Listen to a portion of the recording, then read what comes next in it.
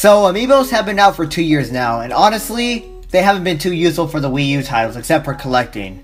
But in the Nintendo Direct in March 3rd, they announced Mini Mario and Friends Amiibo Challenge, a free downloadable game in the eShop for Nintendo Wii U and 3DS. Finally, Nintendo decided to make these things a bit more useful now. What is up guys? It is John of the Game Master Guys here, and welcome to my first review here on this channel. I decided to start off doing reviews by, by doing something short and simple, and which is this game. So I'll be titling a review with...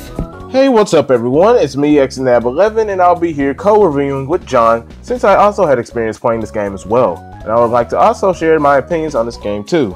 Alright then, let's get on to the review.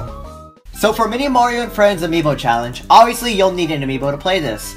The game is pretty similar to the Mario vs. Donkey Kong series, but if you've never played the Mario vs. Donkey Kong series before, then I'll explain what the game is like. First off, you'll be sent to the world map that has different worlds. The bottom path is basically the main path. You can use any Amiibo for this path, but the path above with different unique worlds is the Amiibo exclusive path. You'll need certain Amiibos to get there, which we'll talk about later. This game's genre is a puzzle game. A player activates a mini toy trying to reach the end of the stage. With the mini toys moving, you have many resources to place. Objects like red grinders use up resources when they are placed. You can gain resources back by picking objects back up. Same with blocks and springs. The main objective in each level is trying to reach the goal. At the end of the stage, players are given a score based on their performance, and by clearing it with a high enough score, the player earns a gold trophy for that stage.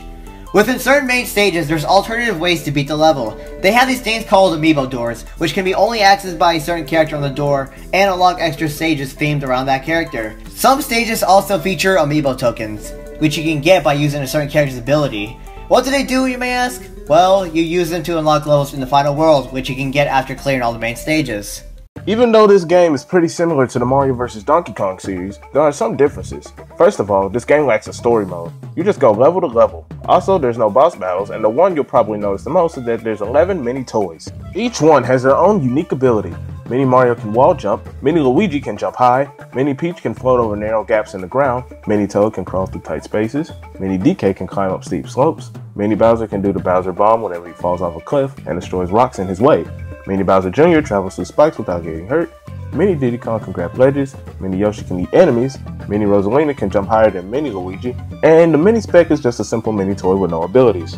You can get by scanning a non-Mario amiibo. The minis also have unique stages that are inspired by their own game or by their own unique techniques that is unique to that specific game.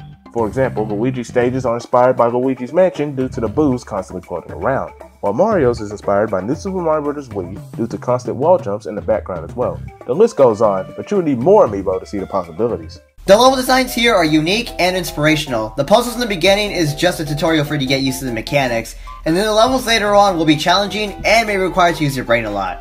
Jeremy Knight will explain the pros and cons for this game. As far as pros, this game has many other than it being free. It uses amiibo to its advantage considering you can't complete the game without them. It's unique compared to any other mini Mario slash Mario vs. Donkey Kong game in that it uses level themes and abilities. Difficulty stays true as with each level the difficulty rises instead of getting easier and easier with each level. It's a good length for a free game, good soundtrack with a few remixes, and it's on the 3DS too. If you're wondering what the new 3DS version is like, it's pretty much the same, nothing different. There really isn't much content we can think of, but the only thing I can think of is that it requires all Mario amiibos for you to fully experience the whole game. And if you look at my Mario amiibo collection, I'm only like missing like a couple amiibos. And some of them are no longer at GameStop anymore, so I'll have to buy them at Amazon before the prices increases. And that's all we gotta say for Mini Mario and Friends Amiibo Challenge. It's a great game, and it's pretty much one of those type of games where you have nothing else to do and just want to kill time. I highly recommend this game if you're a fan of the Mario vs. Donkey Kong series. But if you haven't played this series before, then this game could be a good start. Honestly, I'm glad Nintendo's making these amiibos more useful. I hope they do more stuff like these in the future. And Jeremy, what's your opinion on this? I feel like Nintendo should honestly keep doing what they're doing with amiibo support because really it's to the point where amiibos have no purpose except being just simple collectibles on your shelf. This game in its own right is unique and worth a try to those who want something completely new to try. Just remember, you need amiibos to play. Our rating for this game is going to be a 7 out of 10. Let us know in the comment section below on what your thoughts are on this game, and we would love to hear them. Thanks for watching, guys. I hope you enjoyed our first review. Feel free to leave a like, and feel free to subscribe for more reviews like this in the future. This is John, the Game Master Guys here, signing out. Have a great night, everyone.